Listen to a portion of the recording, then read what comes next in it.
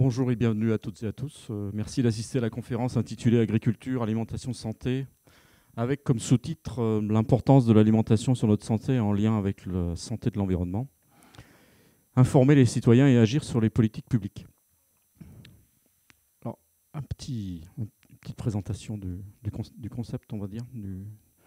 Il y a quelques jours, les pouvoirs publics ont reconnu que le lien de causalité qui existait entre les pesticides et la maladie de Parkinson cette dernière est ainsi reconnue maladie professionnelle pour les paysans et les paysannes. Autre exemple, les maladies chroniques, maladies cardiovasculaires, respiratoires, diabète, cancer, etc., explosent et progressent 4 à 5 fois plus vite que le changement démographique en France. Or, ces maladies chroniques ne sont ni un simple effet du vieillissement, ni une fatalité. Elles sont directement liées à notre environnement moderne, contaminé par les molécules chimiques qui se sont retrouvées également dans notre alimentation. Nous savons donc maintenant qu'il est indéniable que les pratiques agricoles conditionnent la bonne santé de l'environnement, mais conditionnent aussi la qualité globale des aliments que nous mangeons et par conséquent notre santé. Tout est lié, notre santé, celle de l'environnement est un tout et c'est un commun. Il est donc temps de repenser nos politiques publiques pour qu'elles englobent les enjeux de santé environnementale. Cela passe par un changement des pratiques agricoles et alimentaires. Pour cela, je vais passer maintenant la parole à Maxime Bergonzo, animateur à la Confédération paysanne. Merci. Alors, euh, bah, merci à tous d'être venus. On va débattre là ensemble pendant une heure et demie, deux heures euh, sur la question de l'agriculture, l'alimentation et la santé. Pour cela, euh, on a le plaisir d'accueillir Jacques Capla, Nathalie Grégoris et Céline Porcheron. alors, Jacques, tu es anthropologue. Euh, tu es secrétaire général euh, d'APE, Agir pour l'environnement, une association de mobilisation citoyenne pour la protection de l'environnement. Agronome de formation, tu as écrit plusieurs livres, euh, par exemple L'agroécologie, une éthique de vie avec Pierre Rabhi et L'agriculture bio pour nourrir l'humanité.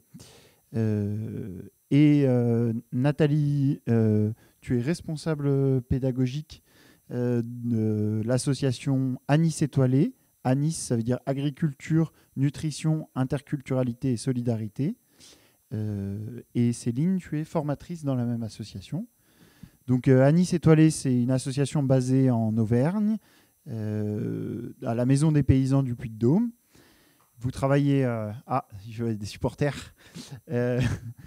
donc dans cette belle région de l'Auvergne, vous travaillez en synergie avec le Monde Paysan, Confédération Paysanne, Solidarité Paysan, pour changer notre modèle alimentaire par euh, des actions d'éducation populaire. Donc déjà, pour euh, commencer ce débat, euh, je me tourne vers Jacques pour te demander un petit peu de nous expliquer les liens entre agriculture et santé, agriculture, alimentation et santé, tant les liens directs que également les externalités que peuvent avoir l'agriculture et l'alimentation industrielle sur notre santé. Et puis par ailleurs, on se rend compte aujourd'hui qu'une alimentation de qualité n'est pas euh, pour l'instant accessible à tous, tant du point de vue géographique qu'économique. Alors, euh, à ton avis, quelle politique publique permettrait euh, à tous d'accéder à une alimentation saine?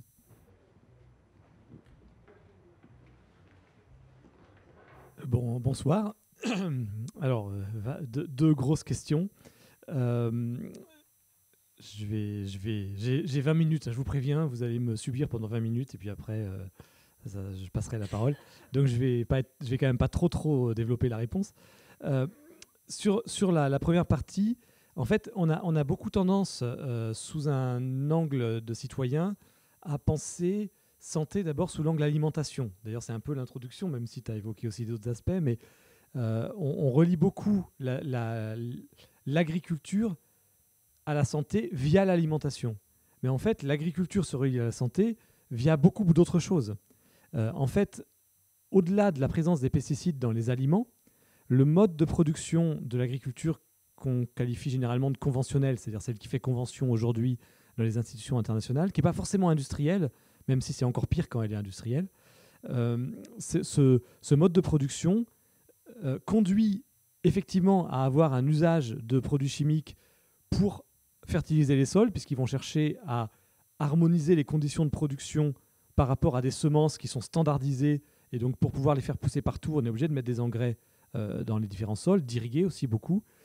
Et puis derrière, on a des plantes qui sont déséquilibrées par rapport à leur milieu, fragiles, qu'on va protéger par des pesticides, des animaux qu'on a calculés, qu'on a transformés par une sélection pour les faire, euh, pour s'adapter à une production de masse. Là, pour le coup, c'est vraiment une logique industrielle qui est derrière. Euh, et derrière, on a des animaux malades, donc des antibiotiques, etc. Alors, on comprend très bien quand on voit ce, modèle-là, ce modèle conventionnel, qu'on va avoir des antibiotiques dans les animaux, dans la viande, qu'on va avoir des antibiotiques dans le lait. Ça, là-dessus, l'Europe arrive à peu près à protéger un peu, à avoir des normes qui sont pas trop catastrophiques. Avec les accords de libre-échange euh, transatlantique, on risque d'être moins bien protégé. Et puis, on a évidemment des pesticides dans les, dans les aliments végétaux. Mais en fait, l'impact de cette agriculture sur la santé va beaucoup plus loin que ce qu'on trouve dans l'assiette. Et c'est intimement lié à ce mode de production qui pose problème. Par exemple, euh, lorsqu'on a euh, des animaux qui sont élevés en grande partie hors sol, qui vont être euh, nourris avec du soja qui vient d'Amérique latine, on pourrait dire, bon, qu'on détruise la forêt amazonienne et qu'on détruise les paysanneries d'Amérique latine, ça n'a pas un impact direct sur notre santé. Bon, évidemment, ça nous préoccupe quand même, j'espère. Mais derrière, cet élevage industriel, par définition, il produit plus de déjections, de lisier notamment, que ce que le territoire peut absorber. Puisque un élevage, j'habite en Bretagne, hein, un élevage laitier d'Ille-et-Vilaine, euh, premier département laitier de France, ils sont très fiers, euh, ça va être des élevages pas énormes. Hein. Ça peut être 50, 60 hectares, mais dessus, on va mettre 100 vaches. C'est pas possible de nourrir 100 vaches sur, sur 50 hectares. Donc comment est-ce qu'on fait? On fait venir du soja d'Amérique latine. On a une surface en Amérique latine équivalente à la surface agricole de la Bretagne nécessaire pour nourrir la Bretagne. Ça veut donc dire qu'on a des entrées en protéines notamment qui sont doubles de celles que le territoire breton peut naturellement absorber. Bah, forcément, on a une pollution de l'eau. Qui dit pollution de l'eau dit problème de santé. Euh, parce qu'on a beau dire, oui, on va se débrouiller pour rester en dessous des 50 mg par litre, euh, il n'empêche que les normes dans un certain nombre de pays, c'est 20 mg par litre. Moi, dans mon village, euh, on est au-dessus de 20. Hein. grâce aux règles françaises qui sont à 50, on continue à, à boire l'eau. Mais l'impact à long terme, il est quand même pas rassurant. On va avoir des systèmes où comme on n'a plus un, écosystème herbagé euh, bocagé, euh, on va euh, nettoyer les prairies tous les ans avec du glyphosate. Bah, évidemment, on le retrouve dans l'aliment, mais on le retrouve surtout dans le territoire. On le retrouve dans l'eau, on le retrouve dans l'air. Et en fait, je parle du glyphosate, mais c'est vrai, le glyphosate, c'est pas encore celui qui est le plus volatile, donc c'est n'est pas celui qu'on retrouve le plus dans l'air. Mais, les pesticides en général sont pour la plupart volatiles. Je ne sais pas si vous savez, ce sont des produits qui normalement sont gazeux. Pour la, plupart des principes actifs ne sont pas stables et sont rendus euh, stables euh, sous forme huileuse en émulsion dans l'eau par d'autres produits chimiques qui ne sont pas inoffensifs non plus d'ailleurs, euh, ce qu'on appelle des coadjuvants. Mais une fois qu'ils sont épandus sur la, sur la parcelle, qu'ils évoluent à la chaleur, etc., qu'ils sèchent, ils vont s'évaporer. À Rennes, on a mesuré, enfin l'INRA, l'Institut national de la recherche agronomique, a mesuré dans l'eau de pluie un taux de pesticides 60 fois supérieur aux normes pour l'eau potable. Dans les brouillards, ils ont mesuré un taux de pesticides 140 fois supérieur aux normes pour l'eau potable. Donc, non seulement faites attention à ce que vous mangez, mais évitez d'aérer votre maison le matin s'il y a du brouillard. Enfin, à certaines périodes de l'année en tout cas. Euh, il y, a vraiment une présence dans l'environnement qui est très très forte. Mais il y a d'autres choses dont on parle encore moins. Enfin si, on en parle, mais sans expliquer d'où ça vient. Euh, vous avez tous entendu parler des pics de pollution en particules fines qu'on a depuis quelques années, euh, dont on nous parle depuis quelques années. Allez, il y en a eu un il y a quelques mois et il y en a eu un l'an dernier, l'hiver d'avant, qui était... enfin non, le, dernier c'était il y a quelques semaines et puis l'autre c'était il y a l'hiver précédent qui étaient des, pollutions par les particules euh, de, combustion, etc. Ok, c'était pas agricole. Mais sinon, les six autres pics de pollution aux particules fines qu'on a eus depuis trois ans étaient des pics de pollution au nitrate d'ammonium. Les nitrates d'ammonium, c'est des particules qui se constituent lorsque de l'ammoniac se combinent avec des oxydes d'azote. Alors c'est vrai, les oxydes d'azote, ils viennent en général des voitures. En plein été, quand il fait chaud, ils peuvent venir du sol agricole aussi. hein. Des sols trop fertilisés euh, produisent aussi. Mais bon, admettons, la plupart du temps, quand il y a eu ces pics de pollution, ça venait des bagnoles. OK. Sauf qu'il n'y aurait eu que les oxydes d'azote, il n'y aurait pas eu de nitrate d'ammonium. Pour qu'il y ait nitrate d'ammonium, il fallait qu'il y ait de l'ammoniac. Et l'ammoniac, il venait d'où? Il venait du lisier et des engrais azotés. Les engrais azotés de synthèse et les lisiers des porcs euh, et, des, et des vaches sont émettrices, enfin émetteurs, oui, les c'est masculin, sont émetteurs d'ammoniac en très grande quantité qui vont provoquer des pics de pollution. Donc ça, c'est pas un truc intuitif, mais la plupart des pics de pollution en particules fines aujourd'hui sont liés à l'agriculture. Même si il n'y aurait pas de bagnole, on les aurait pas non plus. hein. C'est une combinaison d'agriculture et de voiture. Mais enfin, c'est c'est contrôlable. Et puis, euh, lorsque vous avez euh, une, euh, une présence massive des pesticides dans l'environnement, lorsque vous avez une destruction des haies, lorsque vous avez euh, une, des systèmes de monoculture, un appauvrissement de la qualité des sols, et bien derrière, c'est toute la qualité environnementale évidemment qui est, euh, qui est en danger, c'est la biodiversité qui est en danger. Si on a une chute de biodiversité aujourd'hui, c'est en grande partie à cause de l'agriculture. Et c'est aussi des services de qualité environnementale, enfin de qualité, je veux dire, euh, de santé. Enfin, ça, ça a aussi des régulateurs de santé. C'est un peu para- parallèle, donc je ne vais pas trop le développer. En revanche, il y a des éléments euh, qui sont plus directement impactants sur la santé par rapport au, mode de production euh, qu'on a aujourd'hui. C'est un truc là aussi tout bête auquel on ne pense pas forcément. C'est que lorsque vous avez des plantes qui sont cultivées avec une protection par des pesticides, ces plantes n'ont plus d'immunité naturelle. Elles ne, sont pas adaptées pour être résistantes. Elles ne sont pas euh, cultivées dans des conditions qui permettent d'exprimer des caractères de résistance. Et donc, elles ne développent plus les éléments de leur, propre résistance. Vous allez me dire quel rapport avec la santé? Ben, C'est simplement que ce sont les mêmes qui sont les précurseurs de notre santé. Euh, les polyphénols, les antioxydants, les tanins, tous ces éléments-là, qui sont des, éléments qui nous permettent, qui permettent à l'organisme humain d'assurer sa propre immunité, viennent des plantes. Si les plantes ne les produisent plus, puisqu'elles sont protégées par des pesticides, on a nous-mêmes une immunité qui se réduit. Donc on a plein d'éléments comme ça, euh, on pourrait en développer énormément, mais en tout cas, il faut bien comprendre que ce n'est pas simplement une question qu'est-ce que j'achète à manger, c'est vraiment une question euh, quelle est l'agriculture produite. Je dis ça juste pour rappeler que il suffit pas d'acheter de la bio, par exemple, qui vient d'Europe centrale ou d'Afrique du Sud. Euh, si vous voulez vraiment contribuer à votre santé, essayez d'acheter de la bio d'à côté. Essayez de faire en sorte que les agriculteurs du coin euh, passent en bio.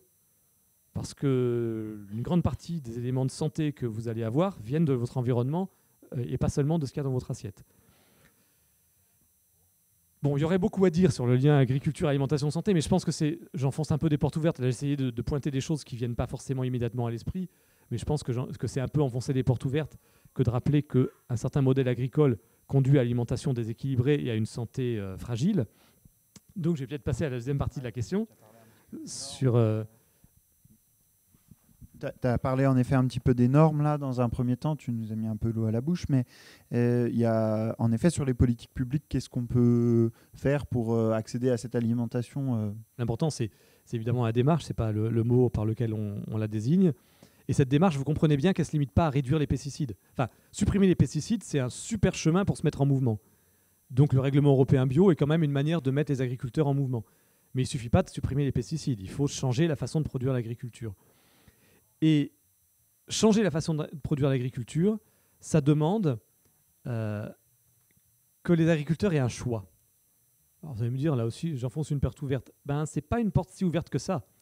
Parce que c'est pas vous, quel est le discours que vous tenez vis-à-vis des agriculteurs. Il y a des agriculteurs dans la salle, mais il y a aussi des citoyens. Donc là, je m'adresse plutôt aux citoyens, citoyennes, euh, non agriculteurs, agricultrices.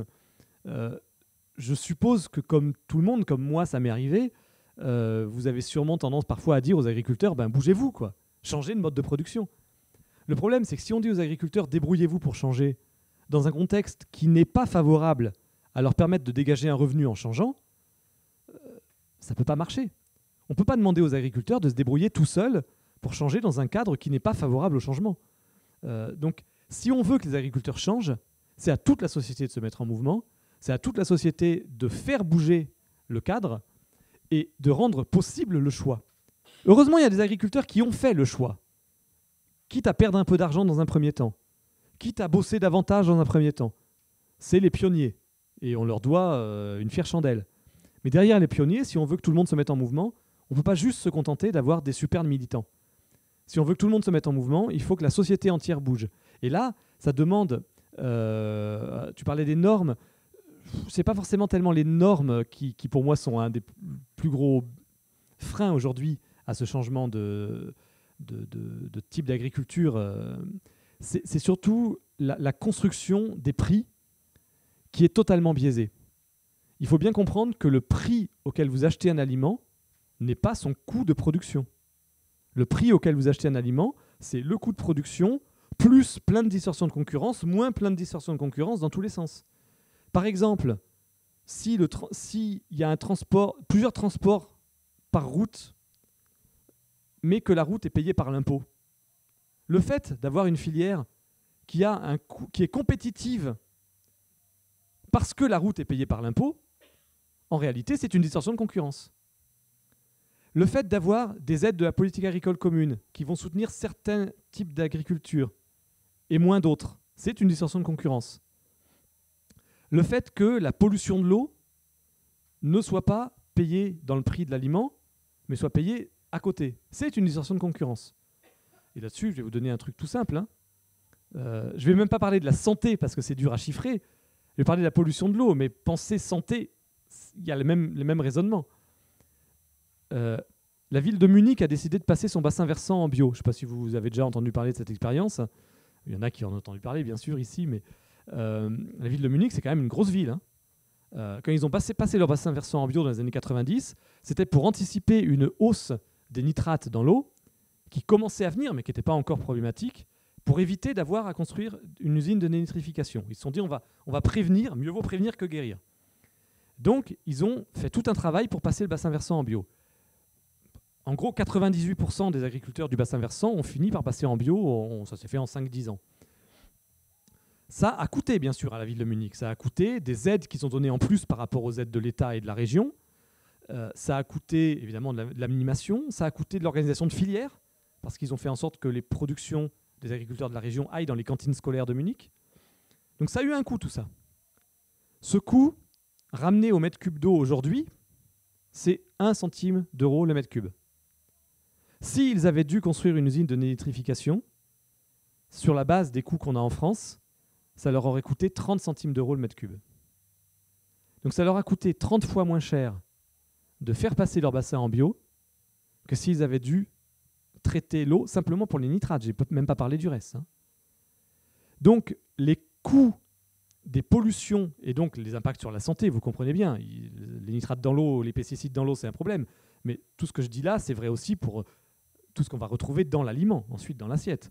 Ça joue aussi sur les pesticides qu'on va respirer, etc. Euh, eh bien, si tout ça s'était intégré dans le prix du produit, aujourd'hui, les produits bio coûteraient moins cher que les magasins discount. La bio coûte aujourd'hui moins cher à produire que le conventionnel. Et pourtant, un agriculteur bio doit vendre plus cher s'il veut gagner sa vie. Parce qu'entre le coût de production et le prix, il y a toutes ces distorsions de concurrence, tous ces coûts cachés, toutes ces subventions cachées euh, sans compter toutes les subventions à la mécanisation alors que la bio recourt plutôt à l'emploi, euh, etc. Donc tous ces éléments-là font que euh, le, choix n'est pas autorisé aux agriculteurs. Donc aujourd'hui, si on veut que ça bouge, si on veut qu'une une, agriculture protectrice de la santé et protectrice plus globalement de l'environnement, puisque tout ça, ça va ensemble, si on veut que cette agriculture se développe, il faut qu'on change un certain nombre de règles. Alors je vais en donner quelques-unes. Euh, il faut revoir la politique agricole commune. Ça, c'est le débat d'à côté. Donc, euh, si, vraiment vous tenez à ce qu'on développe la politique agricole commune, il faut aller dans, le, chapitre d'à côté, mais c'est plus intéressant ce qui se passe ici. Hein. Euh, il faut évidemment arrêter de donner une rente de situation à des agricultures d'exportation. il faut faire en sorte que les aides soient davantage liées à l'emploi, soient davantage liées au mode de production, etc. il faut aussi, à un moment donné, je crois qu'on ne, fera, pas l'économie d'un rééquilibrage euh, du choix de l'emploi, qui est un choix particulièrement bénéfique pour l'environnement et donc pour la santé, par rapport au choix de la mécanisation qui implique pesticides, pétrole, et qui donc est extrêmement négatif. Euh, la mécanisation, c'est utile hein, quand, ça permet d'améliorer les conditions de travail, mais très souvent, ça ne sert pas à ça. Au départ, enfin pendant la plus grande partie de l'histoire de l'agriculture, la mécanisation servait à augmenter la productivité, pas à améliorer les conditions de travail. Aujourd'hui, ça n'a plus aucun sens. On est dans un monde de chômage de masse. Ça sert à quoi d'augmenter la productivité, c'est-à-dire la production par travailleur, si c'est pour envoyer des gens au chômage Or, la structure des contributions sociales a été basée sur le, fait de pénaliser le travail. Alors ne me faites pas dire ce que j'ai pas dit. Gardons les contributions sociales. On peut assurer des contributions sociales de très grande qualité en France. Euh, donc gardons un, très bon niveau de protection sociale. Mais le faire peser sur les charges salariales, c'est aujourd'hui une aberration. C'est un contresens historique. Un agriculteur qui embauche un salarié, pour 1 euro de salaire, doit rajouter 1 euro de contribution sociale.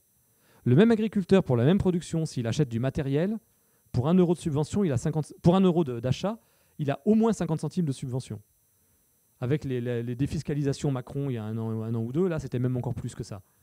Ça veut dire que on, multiplie par deux le coût dans un cas, on le divise par deux dans l'autre. Ça veut dire qu'il y a un rapport de 1 à 4. Ça veut dire 400% de différence, c'est comme ça qu'on compte, hein. x 4, c'est 400%. 400% de différence entre le choix d'embaucher quelqu'un ou le choix d'avoir recours au pétrole, à la chimie et aux machines, pour la même production. Avec 10%, vous orientez une filière. Alors avec 400%, vous imaginez? Donc, pour moi, c'est un truc fondamental. Si on veut aujourd'hui que des agricultures qui sont bénéfiques pour l'environnement et pour la santé puissent se développer, il est urgent que le travail redevienne compétitif. Donc je dirais, n'ayons pas de tabou. Il y a un vrai problème de coût du travail en agriculture. Simplement, le problème, il n'est pas qu'il faut baisser les charges. Le problème, il est qu'il faut répartir autrement les contributions sociales, les rééquilibrer entre le capital et le travail. Arrêter de tout faire peser sur le travail pour favoriser le pétrole et les, machines. Donc voilà, ce genre de, le genre de réformes qui sont nécessaires. Donc, je dirais que pour que cette autre agriculture euh, plus respectueuse de l'environnement et donc de la santé on pourrait dire l'agriculture bio, mais, pas seulement enlever la chimie. L'agriculture bio au sens nature et progrès, au sens euh, des fondateurs de la bio, au sens euh, de, ce que certains appellent l'agroécologie paysanne. Pour que cette agriculture-là avance, on a besoin de réformes structurelles sur le coût du travail et sur les aides agricoles. Après, il y aurait énormément d'autres choses à rajouter. il y a des réformes en cours très très partielles et très très dangereuses en même temps sur les semences, par exemple. En bio, il y a une certaine ouverture sur l'accès aux semences qui sera possible en 2021. Mais il y a aussi un risque qu'on nous fasse entrer par cette porte-là euh, des OGM cachés, des nouveaux OGM. Mais bon, en tout cas, c'est aussi un domaine où il faut travailler, parce que si on veut avoir des plantes et, des animaux, je parle des semences, mais on pourrait parler des races, si on veut avoir des, semences végétales et des races animales qui puissent développer les éléments d'immunité dont je vous parlais tout à l'heure, qui puissent s'adapter au milieu, qui n'aient pas besoin de traitement, euh, et donc qui permettent de réduire toute, cette chaîne tout ce cercle vicieux de, la pollution et de l'empoisonnement, eh ben il faut avoir euh, la possibilité d'adapter des semences aux différents terroirs. Aujourd'hui, les règles ne le permettent pas. Donc c'est encore un domaine où il faut faire évoluer le droit. Euh, voilà, donc il y a pas mal de domaines. Je ne peux pas tout balayer parce qu'il y aurait beaucoup de choses à dire, mais déjà ça donne quelques, quelques idées. Euh, moi je vais m'arrêter là. on aura l'occasion de discuter après sur, sur d'autres aspects. Merci beaucoup Jacques. Euh,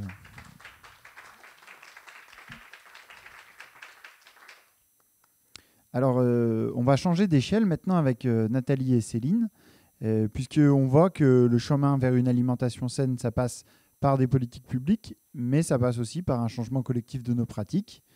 Donc, dans votre association, quelles, quelle pratiques, avec quels acteurs vous travaillez au-delà du monde agricole pour changer ces pratiques?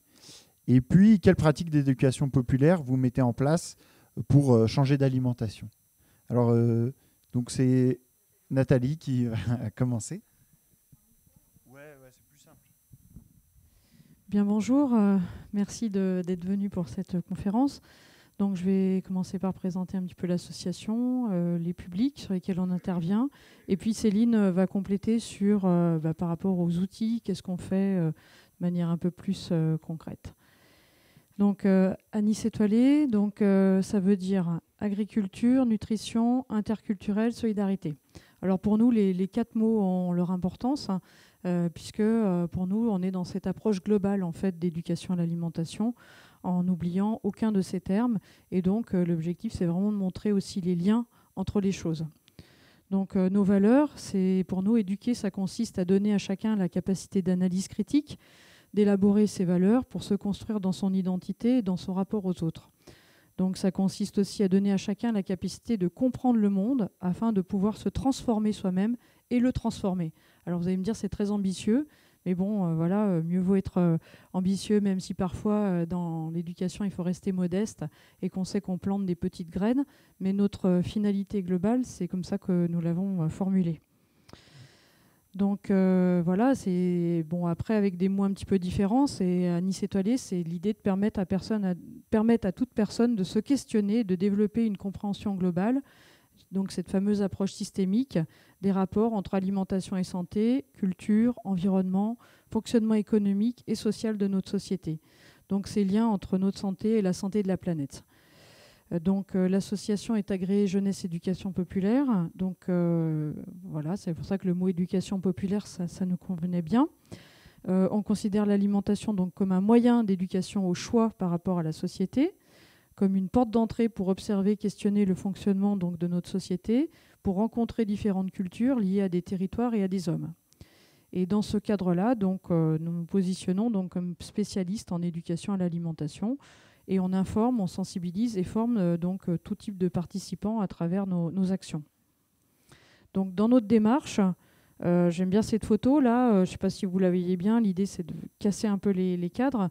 Donc on va s'appuyer bien sûr sur des, des, études, des recherches scientifiques, comme par exemple le travail de Anthony Fardet donc au niveau de l'INRA par rapport à la santé sur les aliments ultra transformés. Euh, on va travailler dans un cadre de projet et d'action de partenariat donc euh, sur mesure. Hein, on n'a jamais des projets tout ficelés. Hein.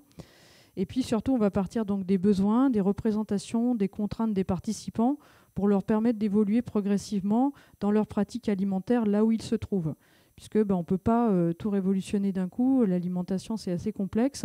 Et c'est vrai que chacun, en fonction de son budget, en fonction de son niveau d'éducation, en fonction de là où on habite, ben, on a des contraintes. Donc nous, on fait le pari que tout le monde peut évoluer, mais dans un cadre souvent qui est contraint et qu'il faut mieux faire des petits pas plutôt que d'un coup euh, tout changer.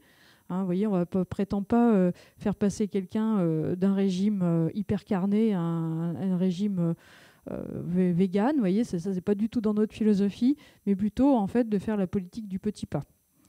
Et puis après, donc, euh, c'est beaucoup basé aussi, c'est d'allier le discours à la pratique. Donc, on est beaucoup sur des choses très concrètes. Vous allez le voir après dans ce que Céline va présenter. Et puis, varier, varier les approches, donc à la fois des approches artistiques, scientifiques, naturalistes, ludiques, en fonction de la sensibilité des participants. Voilà, ça, on n'est jamais sur, euh, tout, fait jamais tout le temps la même chose en fait. Hein. Alors après, bon, nos actions de manière plus globale, au-delà de la sensibilisation, on va aussi créer des outils pédagogiques. Donc par exemple, on a amené là euh, un petit livret qui s'appelle Atelier cuisine et alimentation durable. Donc ça, c'est pour tout animateur qui souhaite mettre en place en fait des ateliers cuisine dans cet état d'esprit-là. Euh, on en a un autre, ça s'appelle euh, Cuisiner les jardins. Donc là, c'est partir du jardin pour aller vers l'assiette. Pareil, ça s'adresse aussi à un public d'éducateurs, d'animateurs. Ensuite, donc, on va concevoir aussi des animations et des formations. donc, pour euh, des professionnels de l'enseignement, animation euh, en temps périscolaire, accueil collectif de mineurs, centres sociaux, relais assistantes maternelles, etc. Donc, euh, on va également travailler, pour ça on l'a fait un petit peu, mais on aimerait bien le développer davantage, accompagner des collectivités territoriales sur la mise en œuvre de projets ou de plans alimentaires territoriaux. Euh, Céline a également mis en place des diagnostics euh, réduction du gaspillage alimentaire. Et moi, actuellement, j'accompagne des projets euh, mis en place de jardins thérapeutiques, donc dans les EHPAD, dans les maisons de retraite. Et actuellement, on développe aussi un projet autour de la cuisine partagée, donc à travers l'association Co-Cooking. L'idée étant de mettre en place des, lieux physiques hein, dans des communes où on peut cuisiner. Donc, il y en a peut-être qui connaissent le concept des petites cantines à Lyon. Bon, ben là, c'est un concept assez marketing, mais l'idée c'est d'avoir des, petites cantines, en fait, des petites, euh, des petites cuisines où chacun peut se réapproprier l'alimentation, éviter de cuisiner tout seul dans son petit coin et cuisiner avec d'autres pour euh, bah, en fait partager autour de la cuisine. Euh, et on organise également des événements, des animations plutôt culturelles, donc avec le festival alimentaire, où là on fait pas mal de, ciné-débats, donc rencontre aussi avec des réalisateurs sur le thème de l'alimentation. Voilà, donc les différents publics, donc on les a un petit peu euh, répertoriés comme ça parce que c'est vrai que l'approche n'est pas tout à fait la même en fonction de ces publics. Donc les professionnels, les enfants, les jeunes, et ensuite les publics à besoins spécifiques et le grand public. Donc euh, les, professionnels, pour vous donner un exemple, par exemple les relais assistantes maternelles, les assistantes maternelles qui interviennent avec la petite enfance, qui font à manger, donc parfois euh, deux fois par jour, auprès de la petite enfance, et bien là ça nous a semblé être un levier intéressant d'intervenir auprès de ces professionnels pour leur donner des clés de compréhension, pour, faire évoluer donc euh, bah, leur façon de, de, faire auprès de la petite enfance, parce que la petite enfance c'est quand même un moment particulier dans la vie où il faut être quand même vigilant. donc là, c'est entre 2015 et 2017, donc euh, entre 18 et 20 séances d'animation par an auprès de, des relais euh, assistantes maternelles. Après, pour le détail des actions, donc on pourra échanger plus euh, après. Hein. Euh, on a abouti à un livret petite enfance avec l'INRA. Là, donc, euh, ce livret est téléchargeable sur le site internet Anis Étoilé. C'est des recommandations nutritionnelles pour la petite enfance de 0 à 6 ans, donc dans une approche euh, alimentation saine et paysanne, autonome, agriculture durable par rapport à ça. Hein. les enfants, les jeunes en milieu de loisirs ou scolaire, donc euh, là, comme exemple, je vous donne l'exemple de l'action avec le conseil municipal des enfants de Mont du Château. Là aussi, c'est un levier, intéressant parce que ce sont des enfants quand même qui sont élus, engagés dans leur commune et qui peuvent ensuite sensibiliser en fait leur père euh, PAIRS. Et ça, c'est vraiment intéressant parce que ces enfants, en fait, ils ont, euh, par rapport à leurs camarades, bah, un peu plus de crédit, si on peut dire, et puis surtout aussi, le lien avec les parents est très très fort. Chaque fois qu'on a un compte on, se voit, il y a un compte rendu qui est fait, qui est envoyé aux parents. Ils savent exactement tout ce qu'on fait, tout ce qu'on dit.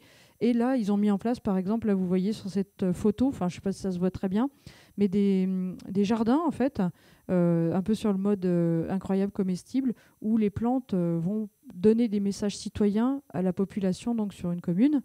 Et euh, les enfants sont, euh, sont allés également euh, visiter des producteurs qui livrent la restauration collective. Ils ont fait des portraits de ces producteurs et ces portraits vont être affichés en fait dans la cantine au niveau de la restauration scolaire. Donc c'est intéressant parce que bah, ce sont les enfants qui communiquent à travers leurs mots à d'autres enfants. Euh, ensuite, bon, l'action qu'on a menée depuis trois ans également donc sur, le, sur un territoire avec des projets réduction du gaspillage alimentaire auprès des scolaires. Donc là, chaque année, c'est à peu près euh, une quarantaine de, séances donc, euh, au niveau scolaire, trois séances par classe. Donc ça, c'est important parce que ça montre une certaine continuité. et l'enseignant, en fait, se fait le relais derrière. C'est-à-dire que ce n'est pas juste nous qui intervenons une fois, one shot, et voilà, mais c'est repris par l'enseignant. Et nous, on tient beaucoup à travailler comme ça en mode projet et que derrière, il y a des réalisations concrètes euh, par les enfants. Donc là, par exemple, dans les réalisations concrètes, il y a beaucoup de jardins pédagogiques qui sont mis en place donc, sur les écoles. Et ça, ça fait le lien aux légumes, euh, à l'importance en fait de, savoir comment pousse un légume. Et derrière, on voit ce qui, ce qui est le plus le gaspillé en restauration collective, c'est les, légumes. Hein. Donc, bah, on redonne de la valeur en fait concrètement à l'aliment. Et on va également visiter euh, la, production. Donc on, reconnecte l'enfant à derrière la production.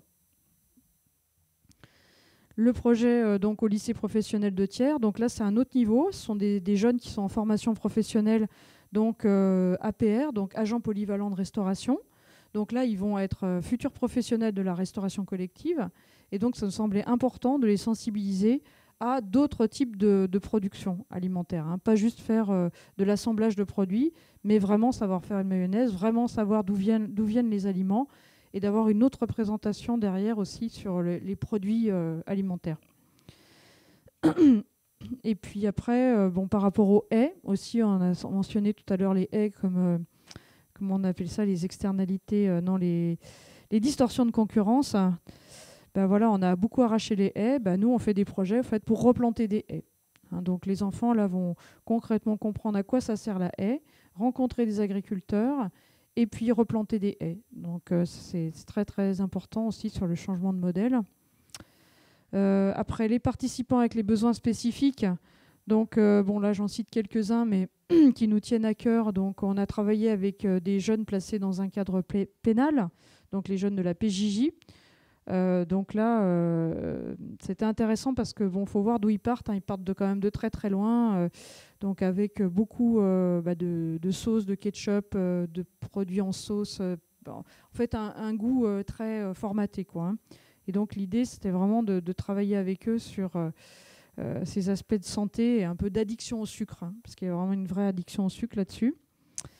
Euh, parcours en éducation à l'alimentation auprès des jeunes en IME, donc les enfants handicapés. Donc euh, là, l'idée, c'est de créer des outils pédagogiques avec ces jeunes et avec les éducateurs pour d'autres IME, pour travailler à la fois sur le côté jardin et le côté assiette. Donc là, on est en train de finaliser ce projet et on va créer trois jeux qui vont pouvoir être mutualisés ensuite dans d'autres IME. Euh, le parcours éducation à l'alimentation auprès des demandeurs d'asile, donc en CADA. Donc c'est Céline qui est beaucoup intervenue donc avec ce, public. Et là, bon, bah, vous expliquera peut-être plus en détail euh, cette action si ça vous intéresse. Et c'était intéressant en fait euh, à différents titres, puisque ce sont des personnes qui découvrent en fait notre système alimentaire, comment il fonctionne, et pour leur éviter quelque part de tomber un peu dans les pièges d'une alimentation industriels. Et puis euh, voilà, parce que ce qu'on leur propose en gros au départ, c'est la banque alimentaire. Euh, et puis bah, voilà, les, les, les, les, invendus de la grande distribution en gros. Hein. Donc voilà, l'idée c'était de leur permettre d'avoir d'autres choix. Euh, et puis également donc le parcours en éducation à l'alimentation auprès des seniors non dépendants, donc les personnes qui sont encore à domicile et qui continuent à se faire à manger donc leur permettre aussi de retrouver euh, un peu plus de, goût et de retrouver le plaisir aussi de continuer à, cuisiner. Quoi. Pas de tomber dans les produits euh, déjà tout préparés. Ou euh, le portage de repas à domicile, la solution de facilité. Et puis le grand public, donc là c'est bon, notre grosse opération, donc le festival alimentaire, avec des projections débats. Donc sur la région, ça rassemble quand même 2500 spectateurs, dont 600 élèves. Voilà, sur 62 euh, projections débat en 2016, j'ai pas les derniers chiffres 2017, une vingtaine de projections en milieu scolaire. Et puis donc euh, bah, l'idée c'est vraiment en fait là d'apporter du, débat, de l'échange autour de ces questions et ces liens agriculture-alimentation. Voilà, je vais m'arrêter là et puis je laisse la parole à Céline sur les différentes formes de sensibilisation.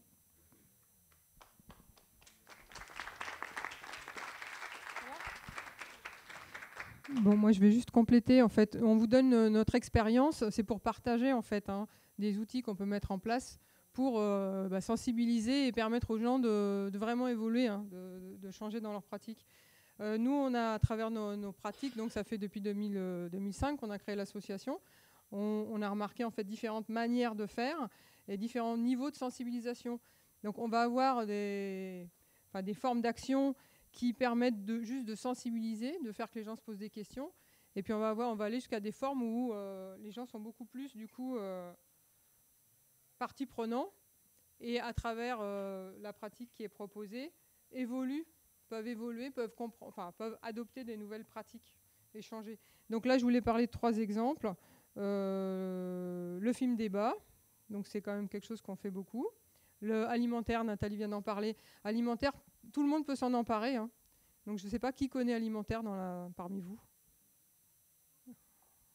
Ok, à peine la moitié. Donc c'est un festival particulièrement intéressant pour parler de tous les thèmes dont on a causé aujourd'hui. Et cette année, il y a des nouveaux films qui permettent aussi de parler du lien euh, alimentation-santé. Après, on pourra développer si jamais ça vous intéresse. Euh, cette année, on a, fait, on a utilisé par exemple ce film qui s'appelle Sugarland. Est-ce qu'il y en a qui l'ont vu?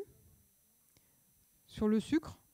Donc ça, c'est un film super intéressant qui permet vraiment de questionner la place du sucre et l'alimentation hyper industrialisée et ultra transformée qu'on nous a mis dans nos assiettes partout à travers le monde. Et, les gens qui viennent voir ça, quand même, ont un, la manière dont a fait le film, a été le film, ont quand même un choc. Euh, un autre film, d'autres films qu'on a utilisés qui sont intéressants, qui peuvent être des outils pour euh, entrer dans les écoles justement. Euh, par exemple, jus d'orange, une réalité acide. Donc ça, ça, montre une filière, ça présente toute une filière. Et en classe, donc, on peut décortiquer ça, on peut organiser des débats, euh, des choses, euh, des débats contradictoires aussi. Enfin, on fait tout un tas d'outils pédagogiques avec les enseignants pour réussir à comprendre quand on boit du jus d'orange le matin, qu'est-ce que ça veut dire? Qu'est-ce qu'on a derrière cette bouteille de jus d'orange, différents types de jus d'orange, et pouvoir éclairer sur les choix. Et du coup, derrière aussi, une évolution des pratiques. Il y a un film qu'on a utilisé aussi avec euh, la Confédération paysanne qui s'appelle Je mange donc je suis, qui a été fait dans le cadre du festival alimentaire. Euh, donc je pense que ça, c'est des, avec tous les films qui sont sortis ces derniers temps, vous voyez qu'il y a quand même pas mal de gens. ça a permis de faire évoluer en fait hein, euh, la, prise de conscience de la population en général. Hein. On voit avec tout ce qui sortait à la télé, mais après tout ce qui sort en tant que documentaire dans les cinémas montre bien qu'on est en train de bouger. Et la population s'intéresse de plus en plus à ces thèmes. Après, il faut réussir à aller dans les endroits où les gens ne sont pas forcément euh, assez proches. Donc, par exemple, dans les quartiers, aujourd'hui, on commence à proposer des films, des soirées débats aussi ou des après-midi euh, pour pouvoir aussi discuter de ces thèmes. Et euh, dans le cadre du festival alimentaire, par exemple, on a organisé une séance donc en après-midi pour que des femmes des quartiers à côté puissent venir et soient amenées avec bah, des personnes qui sont impliquées aussi au niveau de la CAF, par exemple, et qui travaillent régulièrement avec, euh, avec ce public-là. Et on a travaillé, donc, il y a un, film sur l'huile de palme qui a été passé, et euh, donc le film sur le sucre aussi. Les visites de ferme, tout à l'heure, Nathalie vous a dit que c'était un outil qu'on utilise aussi régulièrement, et je pense que dans le réseau, il y a beaucoup d'agriculteurs aussi qui euh, ouvrent leurs fermes, et c'est particulièrement intéressant pour les enfants, pour les adultes bien sûr, mais aussi pour les enfants, euh, pour, euh, pour faire tilt sur euh, l'origine naturelle, on va dire, et l'origine du vivant de, de, nos produits. Donc c'est des petites actions qui paraissent bêtes, mais n'empêche que dans la discussion qu'on a eue avec l'agriculteur hier, c'est lui qui intervenait le plus et c'est lui qui était le plus en alerte sur ce sujet. C'était une visite d'une ferme bio, donc laitière et avec de la transformation. Ce qui est important dans les visites de ferme, c'est aussi de mettre les gens en action. Donc là, il faut euh, adapter les fermes aussi, ou que les agriculteurs se forment. Et il y a des formations, entre autres, au sein des CIVAM, pour pouvoir, euh, par exemple, euh, aller faire des parcours découvertes, faire des collectes de plantes, donner à manger aux animaux, réaliser un produit, par exemple, faire ses yaourts, mesurer la température dans un compost. Enfin, il y a plein de choses à imaginer, en fait, pour faire un parcours ludique et participatif dans les fermes. L'atelier cuisine, donc la dernière partie, c'est la, partie là où vraiment on, passe à l'action. Donc c'est les ateliers cuisine et les ateliers jardin. Là, c'est la main à la pâte. Et là, on peut faire. Donc là, c'est les ateliers jardin, voilà. Les ateliers cuisine. Donc là, on peut faire beaucoup de choses ensemble. Et on peut faire passer beaucoup de choses. Donc euh, ça permet bien sûr de, à travers la convivialité, de pouvoir échanger entre tout le monde, apprendre les uns des autres, apprendre des expériences qu'on a eues, ça c'est important.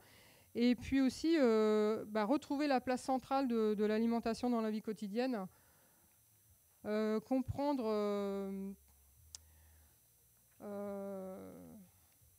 aussi le lien avec ça. Bien sûr, le lien avec la santé, la plupart des gens font le lien avec la santé. Hein. Quand on parle d'alimentation, ils viennent d'abord pour leur santé, pour parler d'équilibre alimentaire et avec euh, l'approche globale qu'on peut mettre en place. Donc c'est pour ça qu'on a fait un guide spécifique sur les ateliers cuisine euh, et alimentation durable. Avec une approche globale, on peut capter les gens par la santé, mais après les sensibiliser sur autre chose et en particulier les, les interpeller sur l'origine des produits, les différentes qualités, euh, quel type de pesticides ou pas on retrouve dans les produits, lesquels on peut utiliser, les, produits semi-complets, complets. Plein de gens, en fait, quand on fait des ateliers, entre autres avec les seniors, la plupart n'avaient jamais vu de sucre complet, ne connaissaient pas même le riz semi-complet, euh, euh, des céréales diverses, toute la diversité qu'on peut trouver dans une alimentation biologique, même locale, hein, française. On arrive à trouver quand même une grande diversité. Et mine de rien, l'alimentation industrielle, elle a réduit beaucoup nos, choix. Pas au niveau des marques, bien sûr, mais au niveau de la qualité des produits. Et, ça, on peut, dans les ateliers cuisine, donc cuisiner mettre en valeur en particulier les légumineuses. Nous, on est un peu fanat des légumineuses, mais ça va ensemble avec euh, manger moins de viande et manger de la viande de qualité, donc produire la, la viande sur les territoires. Euh, et puis bien sûr aussi ben, l'anti-gaspi. Donc ça c'est aussi utiliser toutes les parties des légumes. Ça devient tout à fait à la mode aujourd'hui, hein, donc c'est bien, ça a gagné partout. Ça c'est super. Mais on peut s'en emparer partout, dans les centres sociaux, dans les centres de loisirs, à l'école. On peut mettre des ateliers cuisine en place dans les classes. Enfin, il n'y a pas de problème.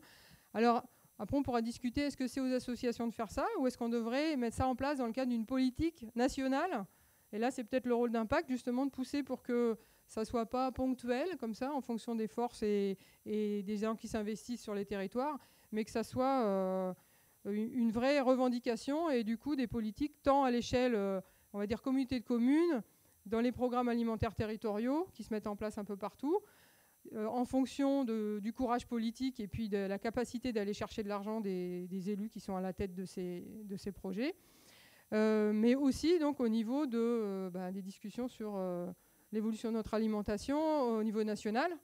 Et je crois que la semaine prochaine, c'est le entre en discussion au niveau de le projet de loi alimentation agriculture. Donc là, c'est on va voir ce, que, ce qui va sortir. ça fait un peu peur.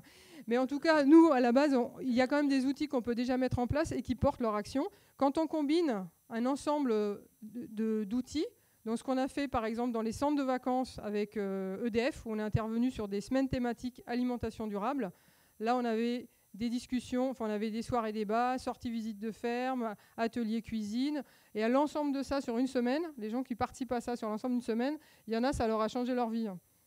Parce qu'on les a retrouvés des années après qui nous ont dit Ouais, quand je vous ai vu, ah, c'est super, vous êtes là. C'était quand même. Euh, ça nous a vraiment euh, complètement transformé notre manière de faire. Donc c'est par petites touches. Quand on réussit à mettre les petites touches les unes derrière les autres, on réussit à avoir une action euh, quand même intéressante. Les facteurs de réussite pour toucher les publics, donc pour nous, ce qui nous pense important, c'est bien sûr la motivation des acteurs hein, qui mettent en place. Et puis le fait qu'on soit euh, cohérent, en fait, qu'on pratique aussi ce qu'on est en train de raconter, quoi. Hein. Ça, c'est une des bases, mais euh, ce n'est pas toujours le cas dans l'éducation euh, à l'alimentation.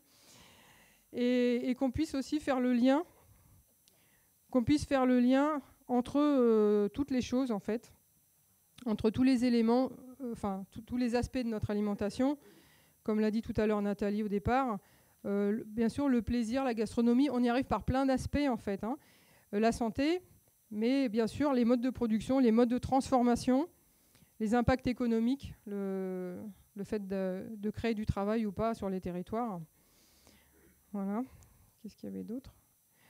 Euh, Pour finir, donc il y a deux choses dont je voulais vous parler parce que là tout le monde peut s'en emparer. Euh, la nouvelle dynamique autour des produits ultra transformés. on est, on est devenus fans, nous. Après les légumineuses, les produits ultra transformés. Est-ce que vous en avez entendu parler? Qui a entendu parler des produits ultra transformés? Ah, Pas tout le monde, mais ça vient quand même. Donc euh, là, c'est le fait de, plutôt que de voir les problèmes de santé qu'on va avoir dans notre alimentation dus à un mauvais équilibre, parce qu'on ne mange pas assez de ci, pas assez de ça, machin, tout ça, trop de sucre, trop de gras, hein, on a du cholestérol, c'est le fait de dire qu'un des aspects importants aujourd'hui du mal-être alimentaire, la mauvaise alimentation, c'est la surconsommation de produits très transformés. Donc on va, regarder en fonction du niveau de transformation des aliments et plus de la composition et des groupes. Euh, il y a un chercheur qui est dans notre région, donc Auvergne, hein, qui s'appelle Anthony Fardet, qui a écrit un bouquin qui s'appelle Halt aux aliments produits, euh, produits ultra transformés, mangeons vrai. Et qui décrypte tout ça et le lien surtout avec la santé. Parce que là, aujourd'hui, on parle santé et environnement et alimentation. Et, donc, euh, ce qui est intéressant, c'est que lui, il travaille là-dessus. Il y a quelques chercheurs dans le monde qui travaillent là-dessus. Et au Brésil, ils ont mis en place une nouvelle politique, un nouveau plan national nutrition comme nous, plan national nutrition santé, politique nationale euh, de santé publique, sur l'alimentation nutritionnelle euh, qui repose sur le niveau de transformation des aliments, qui repose plus du tout sur, comme le nôtre, hein. On introduit des nouveaux groupes, aujourd'hui il y a les légumineuses, enfin bref. Donc au Brésil, ils ont mis en place cette politique à cause de la transition alimentaire qui a été catastrophique, où ils ont vu une explosion de l'obésité. Pour remédier à ça, le gouvernement Lula, donc pas le dernier, hein, pas Temer et compagnie, là, pas les voleurs, hein, mais les gangsters, mais mais donc bah, Lula et puis Dilma Rousseff qui arrivait derrière, avec leur, une vraie politique alimentaire nutritionnelle qui repose sur des critères de santé publique et pas des critères de soutien à l'industrie agroalimentaire. c'est un exemple très intéressant à voir dont on peut s'emparer.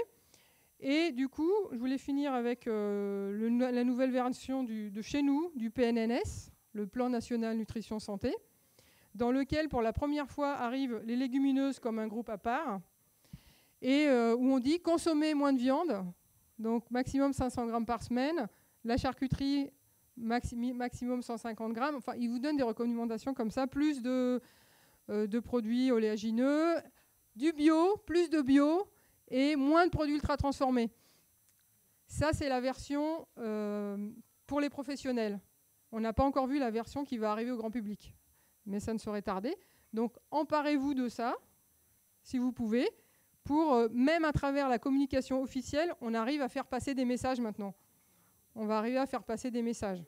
Mais ça, c'est grâce au travail de tout le monde qui fait que c'est arrivé jusqu'aux oreilles euh, de, bah, de, nos politiques qui, gèrent en fait euh, les programmes de santé publique.